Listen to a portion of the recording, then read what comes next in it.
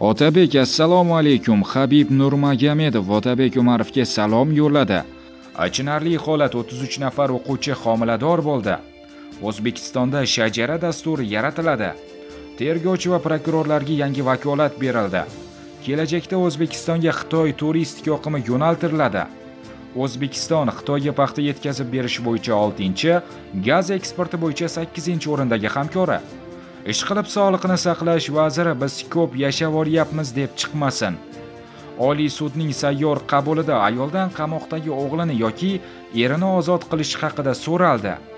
Avtotransport vositalarini ro'yxatdan o'tkazish uchun to'lanadigan to'lov miqdori ko'rib chiqiladi. Usmonxon alimov lavozimidan olingani tasdiqlanmadi.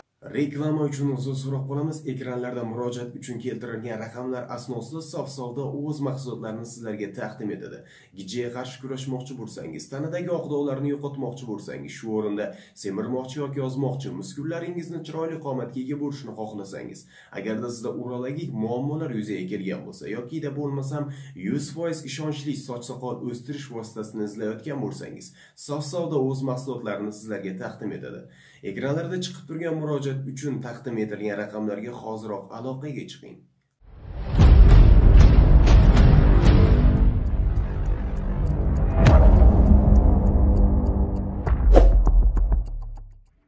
Otabek assalomu alaykum. Habib nurmagomedov otabek umarovga salom yo'lladi. Rossiyalik sportchi habib nurmagomedov o'z g'alabasidan so'ng shavkat mirziyoyevning kuyovi otabek umarovga salom yo'lladi. Habib otabek umarovga tez orada ko'rishishlarini ham aytgan. Achinarli holat 33 nafar o'quvchi homilador bo'ldi. Ulardan 9 nafari 16 yoshga ham to'lmagan. Shimoliy qozog'iston viloyatida 33 nafar o'quvchi homilador bo'ldi. Ulardan 9 nafari 16 yoshga ham to'lmagan. Bu turdagi ma'lumotlar darhol tibbiy muassasalardan politsiya bo'limiga yuboriladi. U yerda qizlarning sheriklarini javobgarlikka tortish masalasi hal qilinadi. Voyaga yetmaganlar bilan ishlash guruhining o'ta muhim topshiriqlari bo'yicha katta inspektori sayran sarkenovning so'zlariga ko'ra bu yil ro'yxatga olingan balog'atga yetmaganlarning homilador bo'lishining barcha holatlarida ular sheriklari jinoiy javobgarlikka tortilmagan chunki ular homilador qizlarga tezda uylanishgan. Politsiya xodimining so'zlariga ko'ra viloyat maktablarida jinsiy tarbiya bo'yicha o'quv mashg'ulotlari olib borilmoqda. Ota onalar bilan ishlar tashkil etilgan ammo bunday holatlardan qochib bo'lmayapti. Xushnudbek xudoyberdiyev nechta talabaning kontraktini to'lab berganini ma'lum qildi. Huquqshunos bloger va zakovat bilimdoni xushnud xudoyberdiyev 2019-2020 o'quv yili uchun 54 talabaning yarim yillik shartnoma to'lovini to'lab berilganini ma'lum qildi. 28 avgust kuni bloger kanalda reklama joylashtiruvchilar post uchun to'lovni talabalarning yarim yillik kontraktini to'lab berish bilan amalga oshirishi mumkinligini ma'lum qilganda eslatib o'tamiz aksiya 2019 yilning 30 sentyabrgacha davom etadi. Ma'lumot uchun xushnudbek xudoyberdiyevning xushnudbek o'z kanalini 170 mingdan ortiq foydalanuvchi kuzatib boradi. U ushbu loyihasiga qadar kanalda reklama asosida post qoldirmay kelgandi. Usmonxon alimov lavozimidan olingani tasdiqlanmadi. Avvalroq o'zbekiston musulmonlari idorasi raisi muftiy usmonxon alimov egallab turgan lavozimdan ozod qilingani to'g'risida xabar bergan edik. Ammo mazkur xabar o'z tasdig'ini topmadi usmonxon alimov o'zbekiston musulmonlari idorasi raisi. Muftiy lavozimida qoldi. Bu haqda o'za xabar berdi ma'lumotlarga ko'ra usmonxon alimov ayni vaqtda xalqaro islom akademiyasida o'tkazilayotgan yig'ilishda idora raisi sifatida ishtirok etmoqda. Ammo hozirgacha o'zbekiston musulmonlari idorasi ushbu xabarlarga rasmiy munosabat bildirmadi. Avtotransport vositalarini ro'yxatdan o'tkazish uchun to'lanadigan to'lov miqdori ko'rib chiqiladi. O'zbekistonda avtomototransport vositalari oldi sotdi qilinganda davlat yo'l harakati xavfsizligi organlarida ro'yxatdan o'tkazishda to'lanadigan yig'imlar miqdori qayta ko'rib chiqiladi. Bu o'zgarishlar fuqarolarning ko'z bo'yamachilik uchun tuzilgan bitimlar rasmiylashtirish holatlariga barham berish maqsadida amalga oshiriladi. Oliy sudning sayyor qabulida ayoldan qamoqdagi o'g'lini yoki erini ozod qilish haqida so'raldi ayol erini tanladi.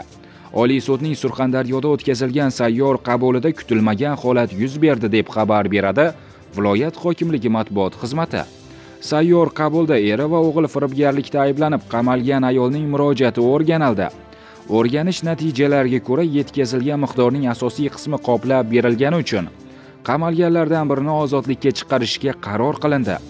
Shunda sud rahbariyati ayoldan eringizni ozod qilaylikmi yoki o'g'lingizni? deb so'raganida ayol erimni deya javob bergan. Ishqilib sog'liqni saqlash vaziri biz ko'p yashavoryapmiz deb chiqmasin fermerlar kengashi raisining ko'p go'sht yeyotgan o'zbekistonliklar haqidagi bayonoti ijtimoiy tarmoqlar muhokamasida. 10 sentyabr kuni o'zbekiston fermer dehqon xo'jaliklari va tomorqa yer egalari kengashi raisi aktam hayitov go'sht narxi oshib borishiga turli omillar qatorida aholi ko'p go'sht iste'mol qilayotgani sabab bo'layotganini aytib o'tdi. Amaldorning ushbu g'alati bayonoti ijtimoiy tarmoqlarda katta shov shuv keltirib chiqardi. Trendsetter blogerlar doimgiday muhokamalarni boshlab berdi.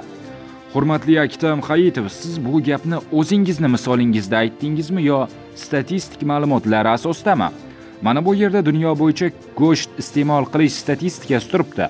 Unga ko'ra biz afrika davlatlari kabi iste'mol qilamiz ekan go'shtni. Sizni bu ishga nima uchun qo'yishgan? Shu odam sohani rivojlantirsin xalq ko'proq go'sht iste'mol qilsin go'shtdan qiynalmasin deb qo'yishganmi? Bozorlardagi qassobxonalarni oldida hech kuzatib turganmisiz? Yosh bolalar ayollar kelib 50-60 ming so'mlik go'shtni olishga qurbi yetmasdan menga 10 ming so'mlik tortib bering deganini kuzatganmisiz? Haftada bir marta yoki umuman go'sht yemaydigan odamlarni bilasizmi? Bolalarga ilojsizlikdan go'sht yeyish zarar ekan odamni qaratar ekan deb cho'pchak to'qib ichidan zil ketgan onaning dardini eshitganmisiz?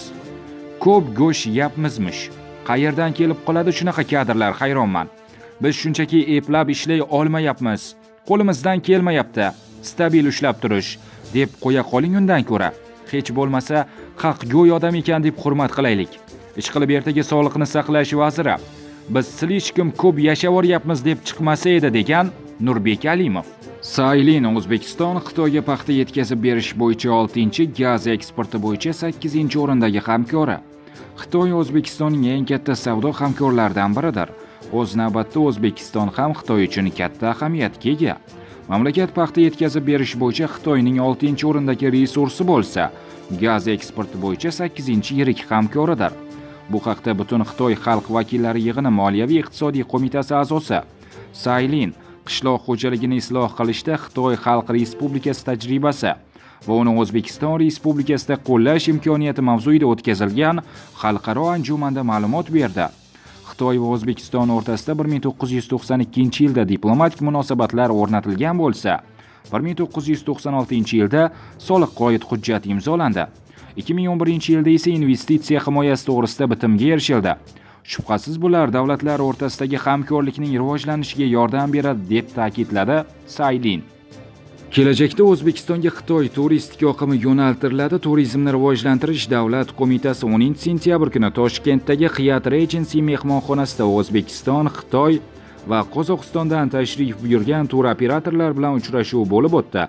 Unda o'zbekiston respublikasi turizmni rivojlantirish davlat qo'mitasi xitoyning o'zbekistondagi elchixonasi hamda xitoy xalq respublikasi madaniyat va turizm vazirligi vakillari qatnashdi. Ushbu anjumandan maqsad o'zbekistonning turistik salohiyatini xitoylik vakillarga namoyish etish. Buning natijasida turistik oqimning sezilarli oshishiga erishishdir. Tadbir davomida turizmni rivojlantirish qo'mitasi raisi abdulaziz oqqulov xitoy bilan hamkorlikning ahamiyati haqida gapirdi. Hozir qozog'istondan bizga eng ko'p turistlar kelayotgan bo'lsa kelajakda xitoyning turistik oqimini o'zbekistonga ko'proq yo'naltirmoqchimiz. Hammaga ma'lumki ko'plab mamlakatlar xitoylik sayyohlarni jalb qilish uchun kurashadi shuni anglagan holda bugun xitoylik o'zbekistonlik va qozog'istonlik tur kompaniyalar bilan turistlar almashinuvi va boshqa masalalar bo'yicha muzokaralar o'tkazilyapti. Tadbirda xitoy va qozog'istondan o'ntadan bizdan esa qirqqa yaqin tur operatorlar ishtirok etishyapti. 2019 yil boshidan beri xitoyning o'zidan 33 ming sayyoh keldi. Yil oxirigacha bu raqam 50 mingtaga yetishi kutilmoqda. Keyingi davrlarda ham oqim hajmini oshirish amaliy harakatlari ketmoqda. Bunda xitoy ommaviy axborot vositalari vakillari bilan hamkorlikda. O'zbekiston haqida videorolik filmlar ishlashni rejalashtiryapmiz degan oqqulov tergovchi va prokurorlarga yangi vakolat beriladi u ko'chmas mulk va avtomobilga aloqador. Tergovchi va prokurorlarga yangi vakolat beriladi u ko'chmas mulk va avtomobilga aloqador. O'zbekistonda surishtiruvchi tergovchi prokuror va sudga yangi vakolat beriladi. Bu haqda 2019-2021 yillarda notariat institutini yanada takomillashtirish bo'yicha yo'l xaritasida aytilgan. Qayd etilishicha ko'chmas mulk va avtomototransport vositalarini boshqa shaxsga berish taqiqlanganligi va xatlanganligi to'g'risidagi ma'lumotlarni surishtiruvchi tergovchi prokuror va sud tomonidan notarius avtomatlashtirilgan axborot tizimiga to'g'ridan to'g'ri kiritish va taqiqni yechish mexanizmi joriy etiladi. Bu boradagi tegishli kompleks chora tadbirlar 2021 yil yanvar oyigacha ishlab chiqilishi lozim.